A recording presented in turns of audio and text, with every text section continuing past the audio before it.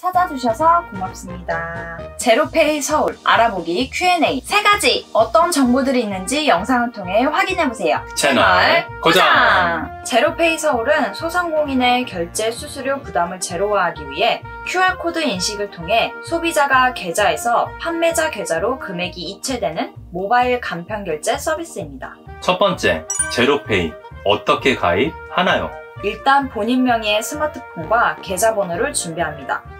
스마트폰에 21가지 앱 중 하나를 설치해줍니다. 간편 결제사 앱, 머니트리, 네이버, SSG페이, 페이코, 엘페이, 체크페이, 하나 멤버스, 모바일 티머니, 핫플레이스, 엑스 제로페이, 은행 앱, 뱅크페이, 광주은행 개인 뱅킹, 대구은행, 투유뱅크, 썸뱅크, 솔, 아이원뱅크, 리브, 수협 파트너 뱅크 개인, NH 앱 캐시, 우리은행, K뱅크, 포스트페이. 두 번째, 제로페이 어디서 사용하나요? 전국 4만 3천여 개 편의점은 물론 프랜차이즈도 제로페이에 동참했습니다. 자세한 가맹점과 안내는 포털 사이트에서 확인 가능합니다.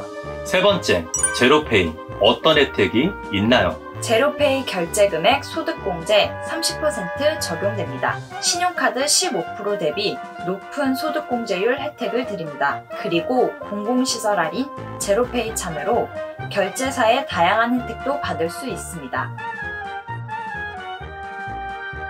이렇게나 혜택이 많고 간편한 제로페이 여러분들 많이 이용하셨으면 좋겠습니다. 식당이나 뭐 어딜 가면 요즘에 제로페이 뭐 보여. 이렇게 맞아요, 보이잖아요. 맞아요. 음, 여러 가지 혜택도 있으니까 많이들 이용하시면 좋을 것 같아요. 네.